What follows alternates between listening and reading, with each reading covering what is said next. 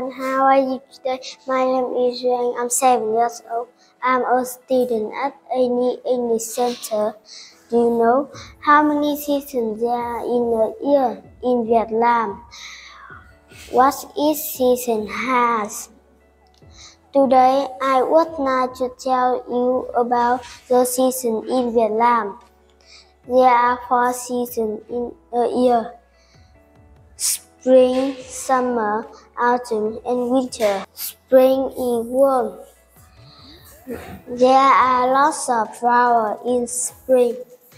I love going on a picnic. Summer is so hot.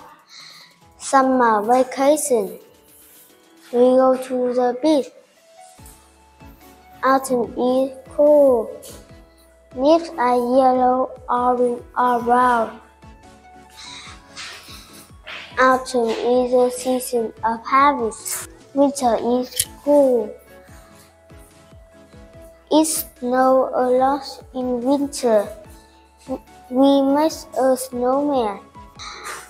All four seasons are very beautiful. For me, I like summer most. I love going to Hạ Long Bay, Cát Bà Island, Nha Trang Beach. Which season you like the best? Please tell me.